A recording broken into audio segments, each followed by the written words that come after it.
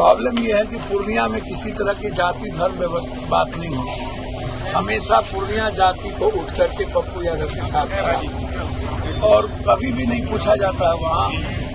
पूर्णिया हमेशा प्रधानमंत्री और सीएम पीएम कोई रहे, पूर्णिया को पप्पू यादव इस इलाके को पप्पू यादव मैं आपको पहले भी कह चुका हूँ। तो लगता है कि जो लड़ाई आठ बार हमने छेड़ा है पूर्णिया में तो एयरपोर्ट तो चुनाव के पहले लेके इसी तरह पूर्णिया को उपराजधानी का, पूर्णिया को एक हाईकोर्ट बेंच का, सहरसा को एम्स का तो जो हम लोगों को लग रहा है कि हम लोग को बृहद रूप से काम करने की ज़रूरत है, उस पर हम लगे हुए हैं। तय उनको करना है, मैं बार बार कहता हूँ, और आगे जो भी तय करना होगा जनता तय मेरा ये पूछना था सर वहाँ अगर सीट नहीं मिलेगी महागठबंधन में तो फिर क्या होगा? नहीं पार्टी से चुनाव लड़ा जाएगा लोकसभा चुनाव क्षेत्र भी सर जाते जाते क्लियर कर दीजिए सर मैंने हमेशा आपसे कहा कि मेरे लिए पहले भी हम कहे हुए हैं कि बार बार यही चर्चा होती है कि पूर्णिया या मधेपुरा सहरसा या सुपौल मेरे लिए ये मैटर नहीं है। मैं कई बार कह चुका हूँ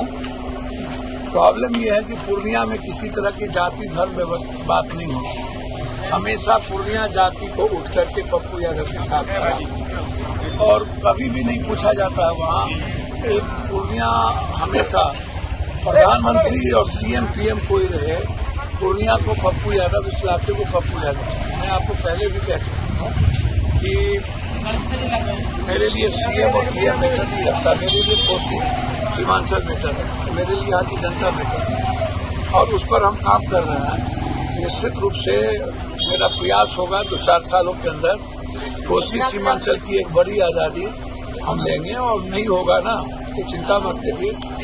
जब आप हमें सौतेलेपन के व्यवहार से देखिएगा तो सेपरेट स्टेट के भी डिमांड होगा। तो लगता है कि जो लड़ाई आठ बार हमने छेड़ा है पूर्णिया में तो एयरपोर्ट तो चुनाव के पहले लेके इसी तरह पूर्णिया को उपराजधानी का, पूर्णिया को एक हाईकोर्ट बेंच का सहरसा को एम्स का तो जो हम लोगों को लग रहा है कि हम लोग को बृहद रूप से काम करने की ज़रूरत है, उस पर हम लगे हुए हैं। इसमें पूर्णिया भी, मधेपुरा भी, सहरसा भी, कटिहार भी, किशनगंज भी एक बड़ी रैली और बड़े वर्कर के साथियों के साथ समावेश बैठक में विचार हुआ कि हम लोग को बड़े लेवल पर काम करना होगा इस इलाके के विकास के लिए। फिर दो तारीख को हम लोग सुपौल के गांधी मैदान में चाहते हैं कि एक व्यापक सुपौल और अररिया बचा है तो कोसी सीमांचल के बाद मिथिला में शुरू करेंगे हम लोग झंझारपुर, मधुबनी, दरभंगा मुजफ्फरपुर, सीतामढ़ी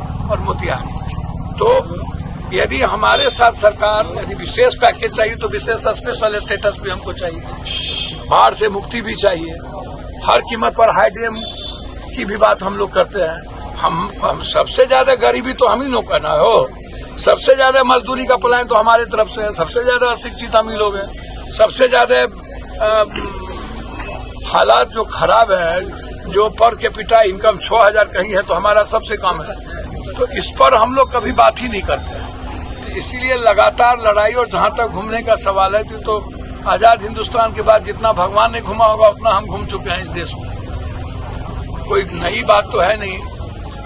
सर 2024-25 का चुनाव अपने पार्टी बल पे लड़ेंगे या महागठबंधन के साथ निश्चित निश्चित निश्चित निश्चित। अपने पार्टी के छोड़ किसी की बैनर के तहत चुनाव नहीं होगी। गठबंधन जिससे होगा जिसको करना होगा करेगा नहीं करना अच्छा, होगा महागठबंधन का साथ देगी? सर कौन साथ देगी? हमने तो हमेशा कहीं बीजेपी में तो जाना नहीं चाहते हैं? अभी भी अभी भी नीतीश कुमार जी पर जब हमला हुआ ज़बरदस्ती जो बात आई तो सबसे पहला आदमी हम है, हमने उसको रिफाइन किया, हमने उनकी बातों को रखा। जब कभी सीबीआई ईडी को लेकर के हमला होता है तो हम अपनी बात मजबूती से रखते हैं।